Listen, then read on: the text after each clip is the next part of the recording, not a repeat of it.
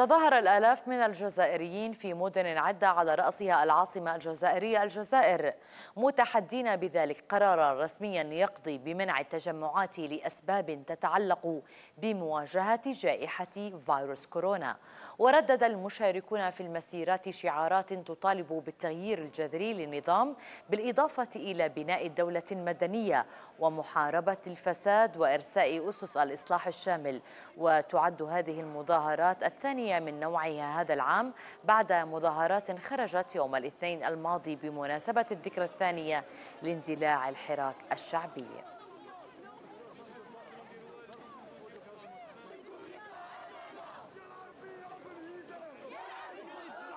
يكملوا مسار 22 فبراير ويكملوا في مسار الحراك إلى ومن منطقة البليدة في الجزائر ينضم إلينا عبر الهاتف أستاذ العلوم السياسية الدكتور عبد القادر السويفي. أهلا بك دكتور عبد القادر على نشرة أخبار المملكة. شعارات ترفع بالتغيير الجذري للنظام بناء الدولة المدنية والعديد ومحاربة الفساد أيضا.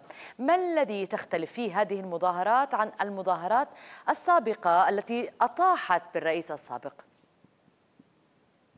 آه، شكرا على الاستضافة اولا. أهلا بك. آه، ثانيا في الحقيقة هل في الحقيقة المظاهرات التي خرجت بالمناسبة السنة الثانية للحراك تجمع كل الجزائريين ولا يوجد من يمثل ربما الشعب الجزائري حتى أن بعض الشعارات التي رفعت هنا وهناك لا تمثل كل الحراك.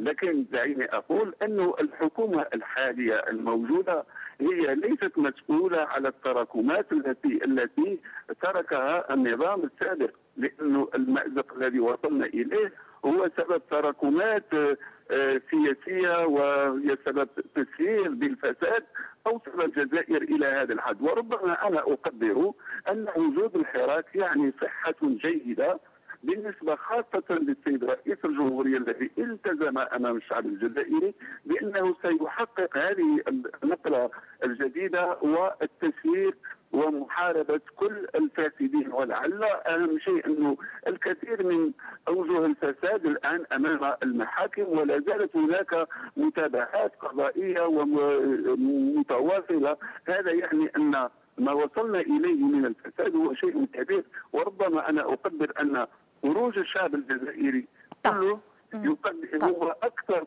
يعني سيد عبد القادر قلت قلت بأن هذه الحالة صحية هو الخروج بالمظاهرات وأن ما يحدث هو نتيجة تراكمات عن الحكومات السابقة أو عن الرئاسة السابقة ولا ذنب للحكومة الحالية بما يجري.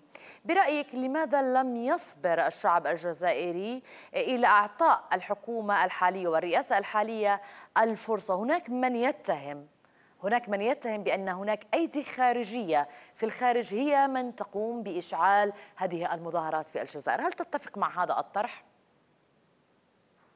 دعيني سيدتي أقول أن ربما خروج الشعب الجزائري وربما هناك بعض القنوات التي تحمل صورا لمناطق معينة أو تركز على بعض الجماهير فهذه الجماهير لا تمثل كل الناس الموجودين داخل الحراك.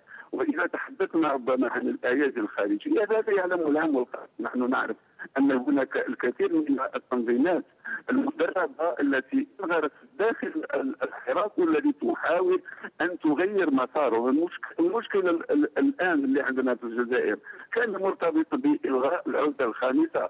كان والآن مرتبط بالتصحيحات خاصة الأبعاد الاجتماعية والأبعاد السياسية والاقتصادية. ولا يمكن الآن البث ربما مباشرة لأن حتى هذه الحكومة الآن هي ربما مسارها حوالي ثلاث أشهر لأن الحكومة الحقيقية والعمل الحقيقي سينبثق من خيارات الشعب عندما ينتخب البرلمان الذي ستنبثق منه الحكومة الفعلية التي تمثل الشعب هنا يمكن الحديث عن تصور للنموذج جديد بالنسبة للجزائر لكن التمثيلية الحقيقية بالنسبة للمواطن الجزائري في ثنائية تجمع ما بين الإنسانية وصفة دكتور دكتور عبد القادر هناك تعديلات في الطاقم الحكومي كما تعلم وأيضا وعود آه، بالذهاب إلى آه، انتخابات برلمانية مبكرة. برأيك هل هذا هو الحل؟ وهل ستحقق طموح الشعب الجزائري؟ سيدتي دعيني أقول أنه ربما حل البرلمان هو مطلب من مطالب الشعب الجزائري الذهاب إلى انتخابات مسبقة هي أيضا مطلب من مطالب الشعب نعم. الجزائري التعديل الحكومي جاء بناء على ربما ثنائية جمعت ما بين اللفظ الشعبي حول بعض آه، المؤسسات أو بعض الوزارات التي أو الوزراء الذين لم يؤدوا واجبهم وكذلك آه، كتزامن مع موقف الرئيس الجزائريين السيد عبد المجيد تبون من هذا العمل وبالتالي نحن نريد الذهاب إلى بر الأمان. والمنطلق نحن لا نتحدث عن الحكومة التي ستدوم أو نتحدث عن على أننا غيرنا الدستور أننا وصلنا. ما هذه إلا مرحلة ربما قد تمهد إلى البث في المرحلة الأعمق والأكبر والأعمق التي تأتي بعد البرلمان الجديد والحكومة الجديدة الذي سنضبط من خلاله إلى فتح ورشات عميقه اولا فيما كل القوانين سواء التي تعلقت بالمناطق الإقليمية أي البلديات والولايات قانون الصفقات قانون التجارة آه، كل القوانين المشحفة التي الكثير منها وضع حسب مقاس بعض المتملقين بعض الفاسدين الذين استولوا على بعض المناصب أو مناصب في الدولة وتمت بمعيه المحسوبية اثروا تاثيرا كبيرا. ولعل ربما أقول إنه الآن رئيس الجمهورية يجاهد في هذا الآن أمام كل هذه هذا التعنت ربما واستفحال واستمرار الرموز ربما أو استمرار بعض الفاسدين إذا كان قد قطع رأس الفساد فلا زال ربما آه، على مستوى مؤسسات الدولة بعض الفاسدين الذين يعاقبون هذه. آه هذا التحول. نعم. طيب دكتور عبد القادر الحكومة والرئاسة الحالية جاءت على وقع احتجاجات وأيضا على وقع ثورة آه، سابقة. يعني أنت برأيك ما هي الأوراق فعلا التي تملكها اليوم الحكومة بيدها للخروج من هذا المأزق؟ وفي حال خاصة هناك تخوفات أن تستمر هذه الاحتجاجات وما هي السيناريوهات المتوقعة في حال استمرت هذه الاحتجاجات؟ يجب أن نفرق ما بين الاحتجاجات المواطنين العادلة والصادقة والتي لها ربما دلالة وحتى الحكومة تعلم ورئيس الجمهورية يعلم أن هذه الاحتجاجات آه، نابعة من مشاكل يعانيها المواطن سواء كانت الاجتماعية أو الاقتصادية خاصة في تزامنها مع الأزمة الاقتصادية العالمية وجائحة آه، الكورونا.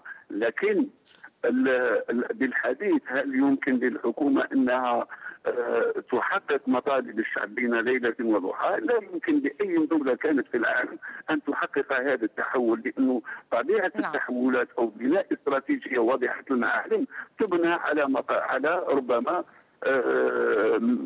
مدى زمني معين على الأقل قصيرة أو متوسطة وبعيده المدى. ونحن لا نبحث عن الحلول الآنية التي ربما الترقيعية بل نبحث عن الحلول الجذرية. المستدامة التي التي التي تضمن تضمن ربما العيش الكريم للمواطن لكن تضمن حق الاجيال القادمة.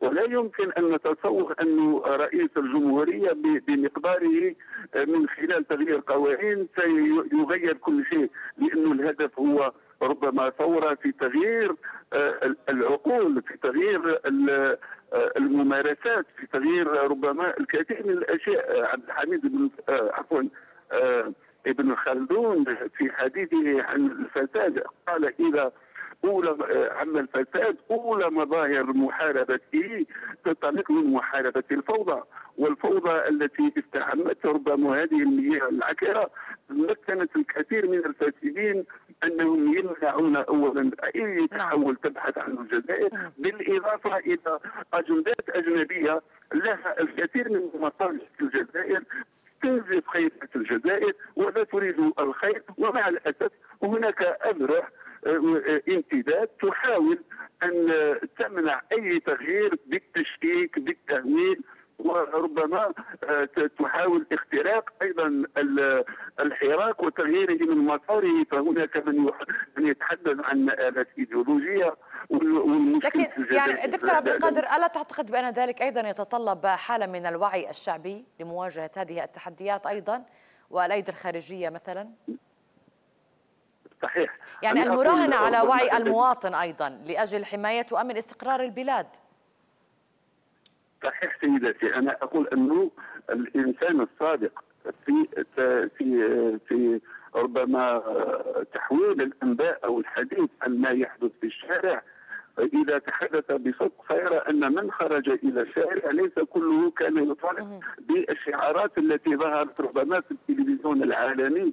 أو في بعض المواقع الإلكترونية لأنها تخدم مصالح معينة وهي موجهة، لكن المطالب الحقيقية للمواطن الجزائري هي مطالب مبنية على نضج، يعني أقول انه وصل المواطن الجزائري إلى نضج الذي يجعله يفرق ما بين مطالباته اليومية نحن لا نتحدث عن ربما عن هذه الاحتجاجات لكن هناك بعض الاحتجاجات في سائر أيام السنة أين يخرج بعض نعم. المواطنين يعبرون نعم. احتجاجات محلية وهذا شيء طبيعي وكبريات الديمقراطيات تقبل هذا الشيء بل تتفاعل معه لأنه المواطن هو قوة نعم. اقتراح هو قوة مراقبة هو قوة متابعه هو. قوة مرافقة هو ربما البديل الحقيقي أو الصورة العكسية لصانع القرار الذي يبني قراراته بناء نعم. على نضج المواطن وليس على رأي نعم صنع.